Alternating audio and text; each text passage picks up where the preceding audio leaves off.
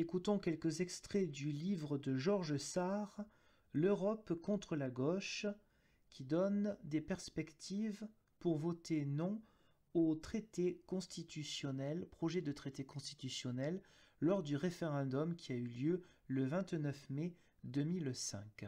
L'avalanche surréaliste de critiques dont a fait l'objet Laurent Fabius, trahison, lâcheté, bassesse, césarisme tribunicien, etc., rappelle combien il est difficile, en France, de débattre de l'Europe. Cette levée de bouclier, ce lynchage politique, témoigne, si besoin en était, que l'Europe est bien au cœur de la pensée unique. D'elle dépend le pouvoir des élites politiques, économiques et médiatiques qui gouvernent sans le peuple depuis vingt ans. Le philosophe Paul Thibault remarque justement que le projet de constitution européenne procède à une sorte d'annulation symbolique des nations, dont il n'est dit nulle part qu'en dernière instance elles sont souveraines. Certes, nous dit-on, les peuples restent fiers de ces identités que l'Union doit en principe respecter, soucieuse qu'elle est de diversité et de subsidiarité.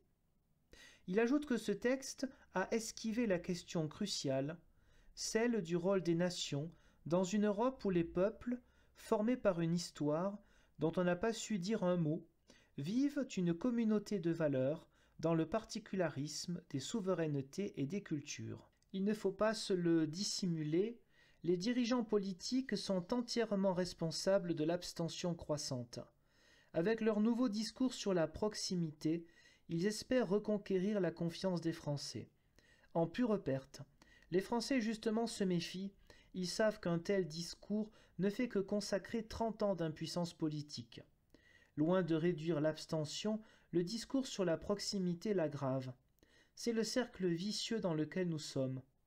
Le sociologue Erwan Lecoeur a parfaitement raison quand il déclare qu'ils, les hommes politiques, cessent d'utiliser des termes creux lors de leur campagne, comme celui de proximité. C'est le degré zéro de la réflexion politique. Qu'ils arrêtent aussi de se comporter comme des gestionnaires. Faire de la politique, c'est avoir une vision du monde. Or, ils en sont devenus incapables. Oui, faire de la politique, c'est bien avoir une vision du monde, c'est-à-dire d'abord une certaine conception de l'homme, de sa liberté, et ensuite une vision claire du rôle de la France dans le monde et du projet de société que les transformations multiples que nous connaissons, de la biotechnologie à la mondialisation financière, imposent de penser pour notre pays et nos compatriotes. Mais cela suppose de retrouver nos repères républicains. Sinon nous pensons dans le vide, et le débat se trouve monopolisé par quelques penseurs verbeux de la mondialisation et de la post-modernité. L'élection présidentielle de 1995 et les élections législatives de 1997 étaient en apparence des élections où un choix était proposé aux Français. Jacques Chirac et Lionel Jospin proposant un ensemble de défis à relever par la volonté politique. Mais ce choix est apparu comme une tromperie dès les premières semaines qui suivirent chacun des deux scrutins. Car l'on a vu un président de la République, élu sur le thème du pacte républicain, refuser d'engager le référendum sur l'euro qu'il avait promis, appliquer la politique économique qui n'avait eu de cesse de dénoncer durant sa campagne électorale, supprimer le service militaire, organiser le retour de la France dans l'OTAN, dont il se fit d'ailleurs le zélé porte-parole durant la guerre au Kosovo, dissoudre l'Assemblée nationale, être désavoué par les électeurs et rester en fonction pour ne rien faire, se représenter devant les Français en leur promettant de faire en cinq ans ce qu'ils n'avaient pas fait en sept ans, et être élu à l'issue d'un second tour, sans péril et sans gloire. Le débat sur le projet de constitution européenne atteint des sommets d'hypocrisie.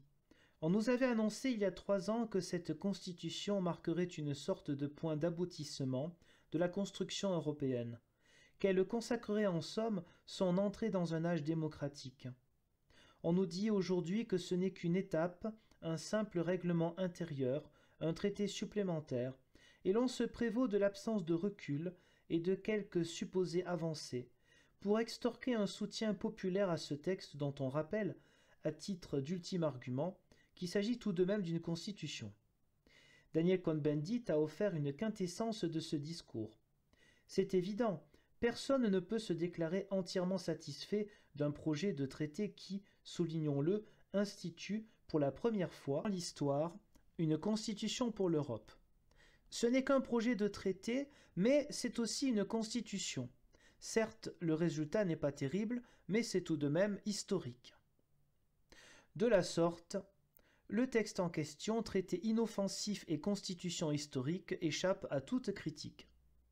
Si l'on lui reproche d'être une constitution, donc de s'inscrire dans la durée, on nous répondra que ce n'est qu'un traité provisoire. Si l'on moque un énième traité, on saluera pour notre édification l'événement historique qu'il constitue. Ainsi va le débat démocratique en France. Le texte de la Constitution européenne oblige à mettre l'Europe en perspective. C'est ce que je me suis efforcé de faire tout au long de ce livre. Je n'ai pas voulu imposer au lecteur un prêt à penser énumérant dans le détail et d'un point de vue juridique les nombreuses raisons de refuser le traité instituant une constitution pour l'Union européenne qui lui est soumis. J'ai au contraire souhaité parler à son intelligence, et puisque ce texte offre un condensé presque inespéré de la construction européenne depuis ses débuts, de l'Europe comme oligarchie et de l'Europe comme mythe, j'ai essayé de l'amener à réfléchir sur des décennies de mensonges et, ce qui est peut-être plus grave encore, d'irresponsabilité politique. J'ai le sentiment que la défaite des partisans du non lors du référendum socialiste sur le projet de constitution européenne tient, au-delà des pesanteurs sociologiques propres à ce parti, 60% d'élus, un grand nombre d'encartés employés municipaux et des ministres à la direction, une désertion des ouvriers, etc., au fait qu'ils en soient restés pour l'essentiel à une critique littérale du texte en question, sans faire l'effort de mettre en débat la construction européenne. Depuis ses origines, ils n'ont pas été sans mérite. Mais peut-être était-il vain de penser convaincre en énumérant dans le détail, pointant tel alinéa de tel article, les nombreuses raisons de refuser le traité instituant de constitution pour l'Union européenne. On a pu dire qu'en acceptant le projet de constitution européenne, les militants socialistes avaient confirmé le choix fait par François Mitterrand en 1983 de privilégier le projet européen sur le programme socialiste qui lui avait permis d'être élu. C'est vrai à ceci près que le dit projet européen a servi de paravent à un ralliement au libéralisme que des socialistes, consciemment ou non, viennent de ratifier. Bien sûr, ils s'en défendent, nous parlent d'Europe sociale et font l'éloge, pour y parvenir, de la méthode des petits pas, quand les partisans du non croyaient possible d'établir l'Europe sociale par l'imposition d'un rapport de force. Encore eût-il fallu qu'ils parlassent davantage au nom de la France, mais c'est un autre problème. Or, l'expérience de la construction européenne révèle que la méthode des compromis et de la prise de décision technocratico-consensuelle est toujours plus favorable au libéralisme qu'au socialisme. Il y a un rouleau compresseur du libéralisme interne, privatisation, dérégulation, et externe, libéralisation du commerce, étendu dorénavant au service, dont la Commission européenne est l'instrument efficace au service des États et des groupes d'intérêts économiques, et par rapport auquel la gauche est désarmée.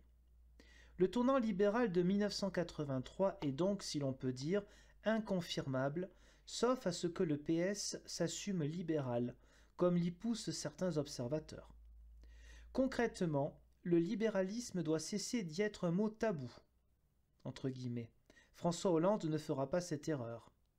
Il ménagera la chèvre et le chou, cherchera à incarner le juste milieu entre les partisans d'un coup de barre à gauche, purement verbal, et les tenants d'un réformisme dont on ne sait pas à quoi il s'applique, même si l'on subodore qu'il vise davantage l'État que le système capitaliste.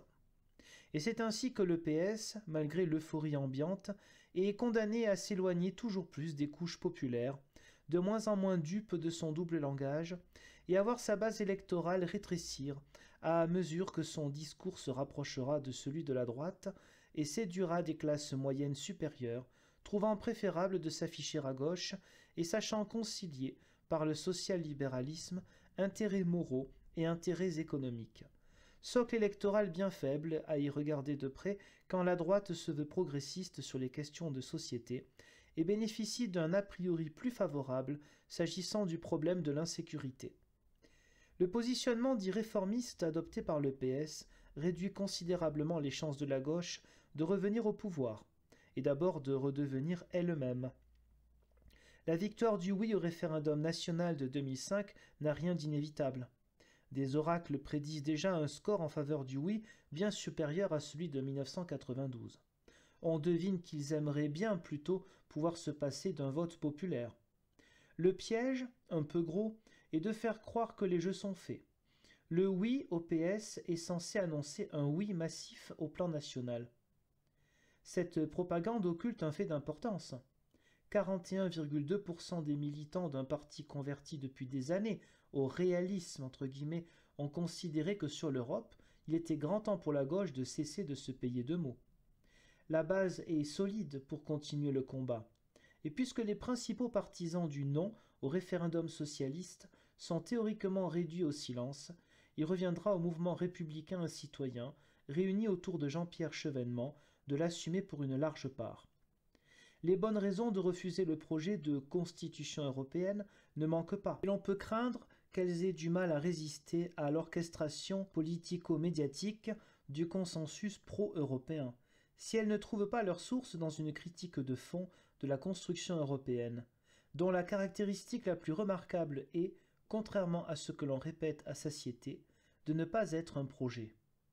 C'est pourquoi le mouvement républicain et citoyen, en promouvant un non républicain, un authentique non de gauche, entend dire non à Jacques Chirac, mais en attirant l'attention sur l'irresponsabilité politique qu'engendre la construction européenne.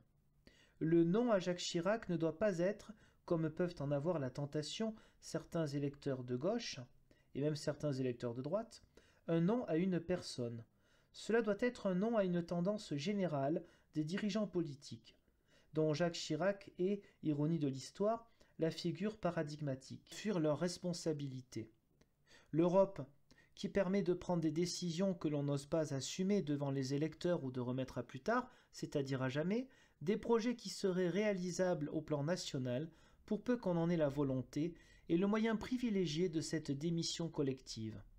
C'est pourquoi aussi le MRC entend dire non à l'Europe libérale, mais en expliquant pourquoi l'Europe ne peut être, dans les conditions actuelles, que libérale.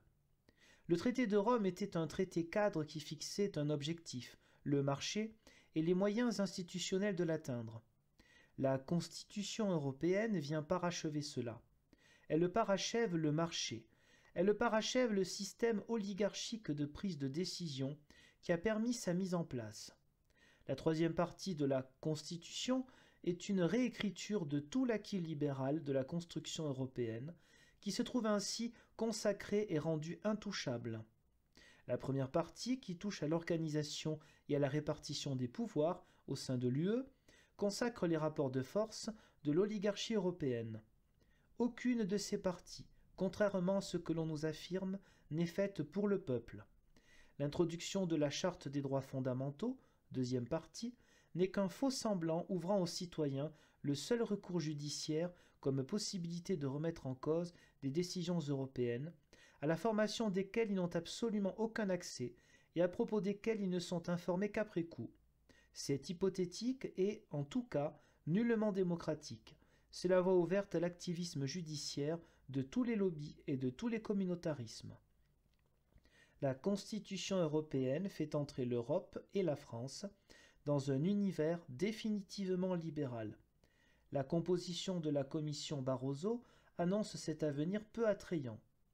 Dire non à la Constitution européenne, c'est dire non à une oligarchie au service du marché, c'est dire non à l'Europe libérale. Il faut dire la vérité sur l'Europe. La gauche ment en préconisant l'Europe sociale. Aucun pays n'est en mesure d'imposer sa conception de l'Europe, la France moins que les autres en témoigne son effacement au sein de la Commission de Bruxelles. Dans l'espace européen technocratique et consensuel, c'est le petit dénominateur libéral qui seul peut l'emporter. C'est structurel.